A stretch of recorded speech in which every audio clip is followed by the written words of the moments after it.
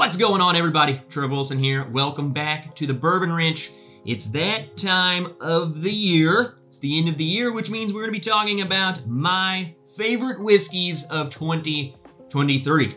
We got 10 bottles that I absolutely love, and they made my list. Now, my list does not comprise of BTAC and LE this, LE that. Uh, in fact, looking at the, the bottles over here, only one of them was pretty dang hard for people to get. The rest, not so much. To me, 2023 was like the year of LEs. It just seemed like everyone was just dropping limited edition this and that and whatever, and you just can't get it. Also, I've tried a lot of bottles, but if I do not have them, then I'm not gonna put them on the list. Uh, I got to try a lot of great things, but I could not get my hands on them like majority of people. So who cares if we talk about how good it was. Remember to like the video, subscribe if you are new here, and leave a comment down below letting me know what your favorite whiskeys of 2023 were. So let's get right into this. We have a lot of bottles to talk about.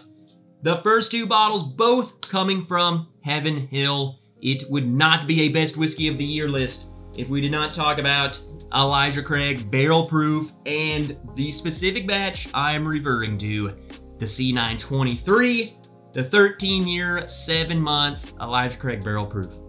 Just good.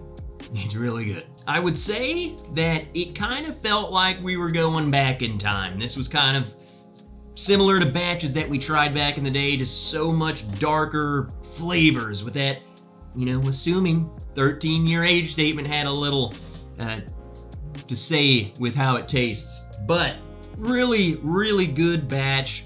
Brought me back to the good old days.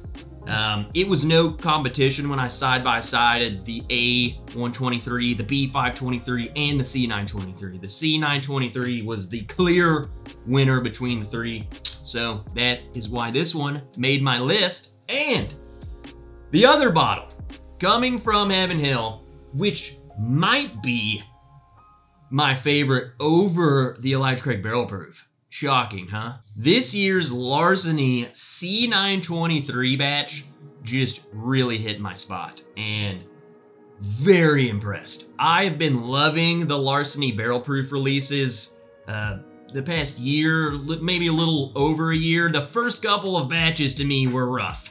They were rough and they've gotten better and better and better. And then we've landed on this and my palate freaking loves this. It's very dark and I like it. It kind of reminds me of the of the Elijah Craig barrel proof of Larceny barrel proof. You know what I'm saying? Does that make sense? I think this was a hitter.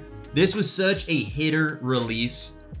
Easily the best Larceny barrel proof batch I think they didn't come out with. So uh, this list is in no particular order. Forgot to mention that. But just for fun, I, I, I might be that guy who is reaching for this one over the Elijah Craig.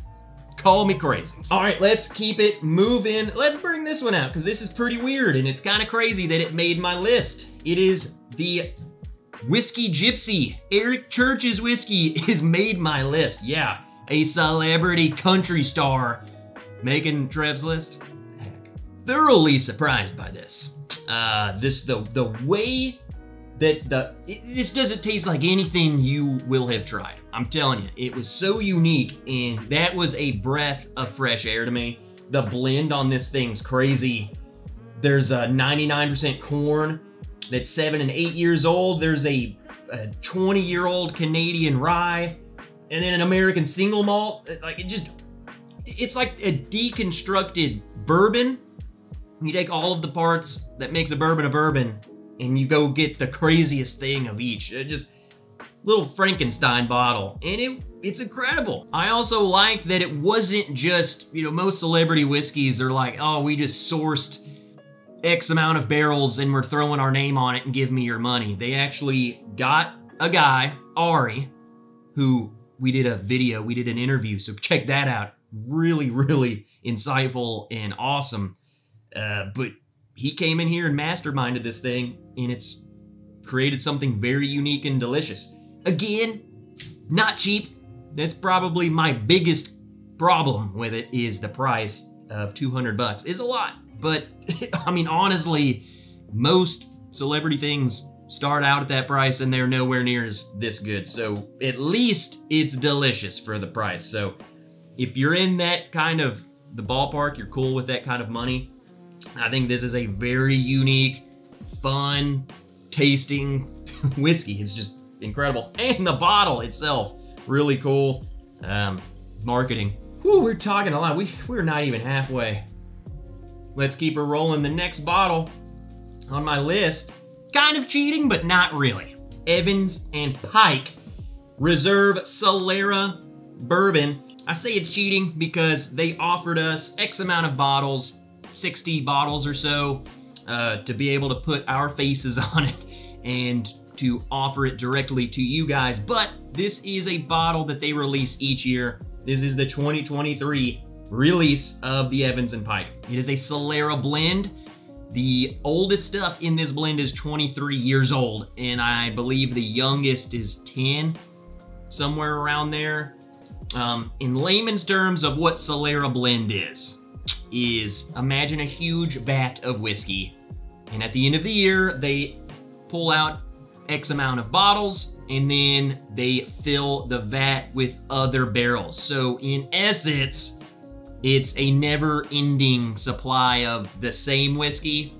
You know, there's no actual way to know how much of the 23-year-old stuff that went into the blend is somehow in this bottle. I don't think there's a way of knowing. All I can tell you is how good this tastes. What I can tell you is whatever age ended up blessing this bottle is very evident, very high age in the proof. Just imagine a 15, 16, 17 year old tasting bourbon at 62% alcohol, cask strength goodness.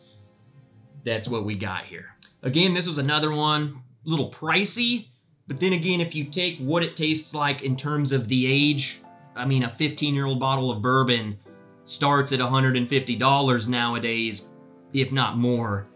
And this is all there at 15, if not much higher tasting. So this is just very good stuff.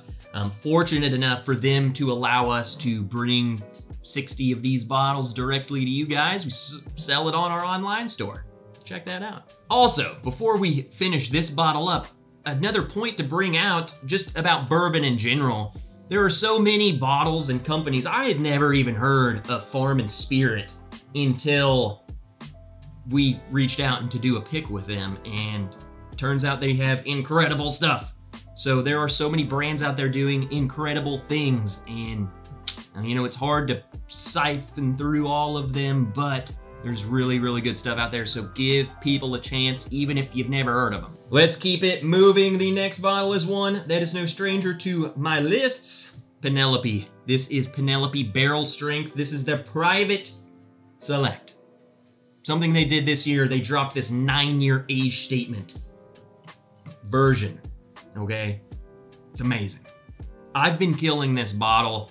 It's nothing over the top, don't get me wrong, but as a Penelope fan, I mean, I like this better than their regular barrel strength. It, this is Penelope stuff, but nine years age dated. Like, how is that gonna be worse? It is a four grain, 85% corn, 10% rye, 2% wheat, and 3% malted barley, distilled in Indiana and Kentucky. So there's nine-year-old Kentucky and Indiana in this blend. And I mean, it's just so crushable. It's, you just pour it and you wanna keep going and going and going and going and going. It was like the same price as the regular barrel strength stuff. To me, this was a no-brainer to try, and then I freaking fell in love with it. Uh, if you like Penelope, I think they they took this blend and created something very, very good. All right, let's keep her moving. The next bottle is another Mastermind blend with some Indiana stuff, and who knows what else is in there. Barrell. This is batch 35. This dropped over the summer 2023.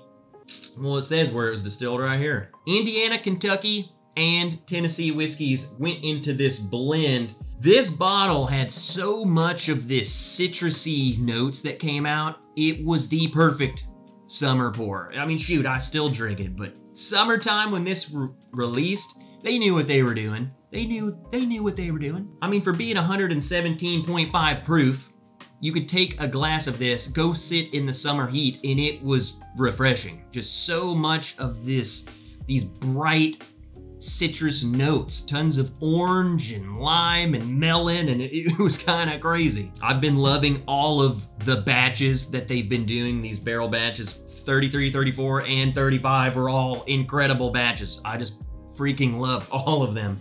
Uh, but I think this one really stood out for when it was released versus the notes. I think it complemented each other so well. It was just very fun, very delicious bottle. Four more bottles. Holy moly. All right, let's move on. Two bottles of rye. Made my list, and they're both from the same distillery. the first one might be shocking, I know. Jack Daniels Bonded Rye. Again, this is not like the best tasting thing ever, but it is very affordable and it's always there on the shelf.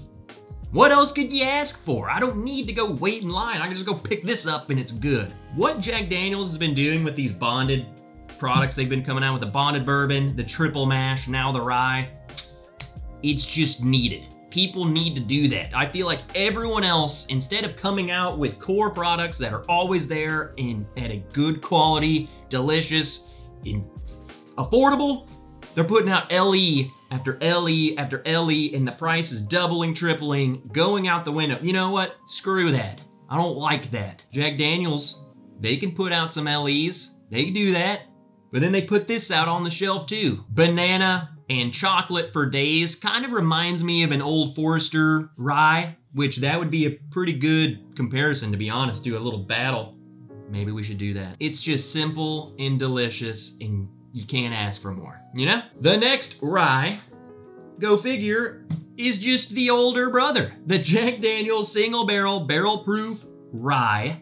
I don't know exactly when these came out, to be honest. I don't know if this came out in what year this is that. I'm, I'm not gonna lie to you, but it's new to me. This one I got in 2023 and wow, simply incredible stuff. I mean, let's face it, Jack Daniels barrel proof, anything is just, hmm, it's just the full package. They took the Jack Daniels limited release rye and then I think they just packaged it to everyone. They said, you know what, everyone needs to try this. And bam, they came out with this. Didn't miss. It's seriously, it's like Jack Daniels bonded rye on copious amounts of steroids. Fantastic.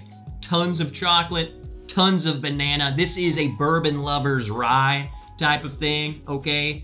It's quintessential Jack Daniels, but just full flavor bomb for days. It's a safe bet if you come across one that it's worth buying, okay? All right, we're down to the last two bottles. I'm saving the, the rare one for last, sorry. But I think some of you might already know what that one's gonna be.